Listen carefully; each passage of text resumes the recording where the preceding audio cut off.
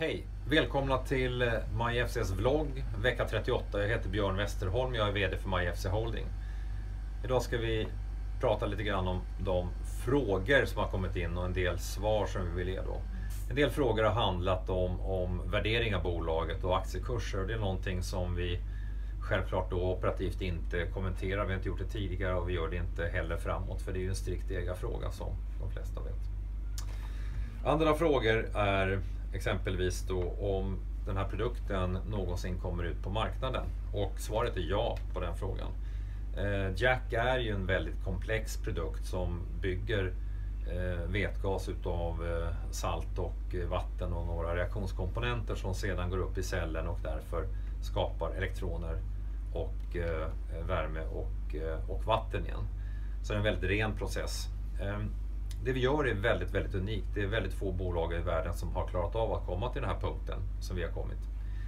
Eh, men om vi går tillbaka lite grann till eh, Q2-rapporten som vi la ut tidigare så har vi då identifierat ett antal parametrar där i exempelvis eh, industrialiseringen som vi har varit tvungna att från början egentligen hantera.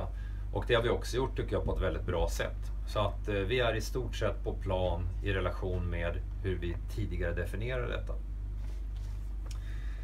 Vidare kan man ju säga att eh, en slutkonsument som testar den här produkten, vi tar det på, på största allvar att ta den feedbacken vi faktiskt begär att få in och sen också göra någonting åt det här.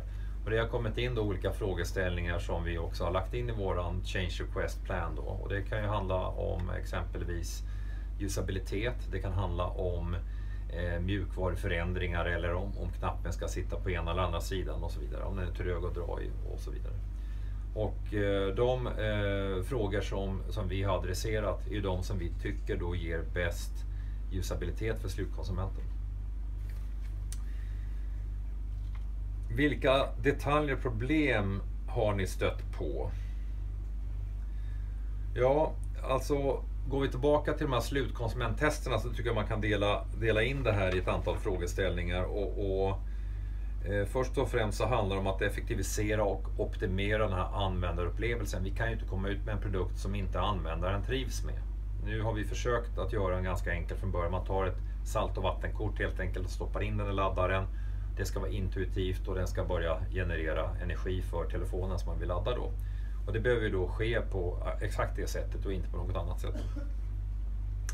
Det handlar också om att, eh, som jag sa tidigare, optimera både yielder i produktionen och det kan vara också gilder, operationella yielder, då själva användningen av den här. Och eh, det handlar också om att säkra kvaliteten.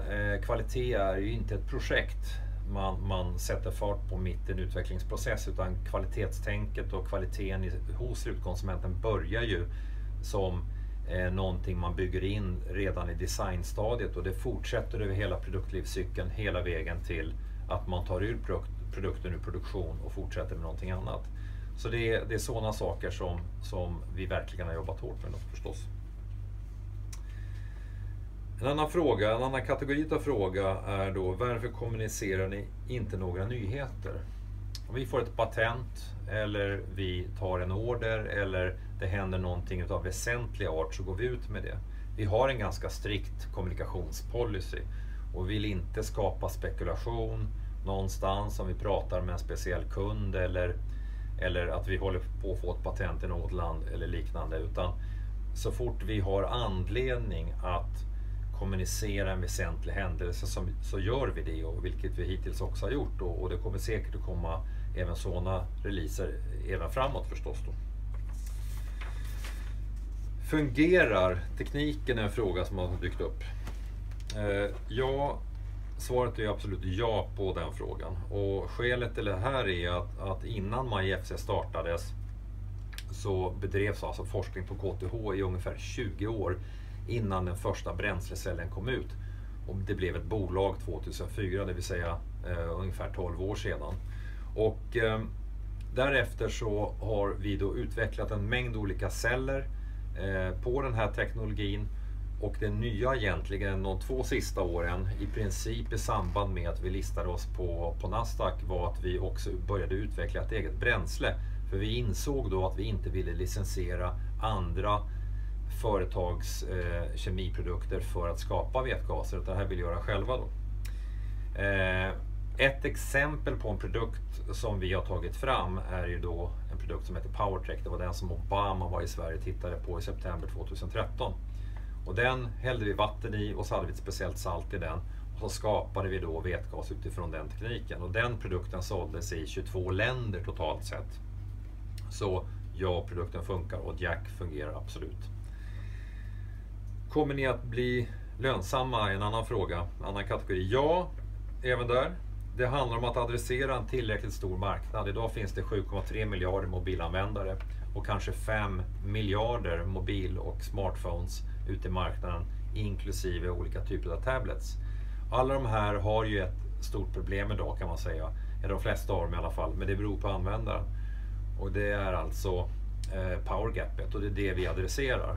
Och då kan man säga att vi har absolut ett tydligt eh, eh, problem att lösa i marknaden som är också väldigt, väldigt stor. Eh, och Det är klart att tittar vi då på eh, relationen i det faktum att kunna bli lönsamma så måste vi också ha produkter som är, är billiga och därför är liksom boomkosten, alltså bill och material, det vi bygger våra produkter på behöver vara effektiva. Och salt och vatten är väldigt, väldigt billigt och kan vi skapa då vätgas ifrån salt och vatten och, och reaktionskomponenter som är billiga så har vi alla förutsättningar att bli väldigt, väldigt lönsamma framåt. Jag tror jag slutar där idag. Ha en trevlig helg. Tack!